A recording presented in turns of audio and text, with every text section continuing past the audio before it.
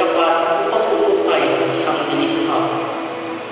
Ang bawat bahagi ay naglalarawan ng kadakilaan ni Batman. Subalit, ang lahat ay pansamantala lamang. Dahil ang pinamataas sa lahat, ang inatasan niya mga laga ng kabuuan ng sanlilikha ay lumamis. Naging ganit at pakasariling. Tila ang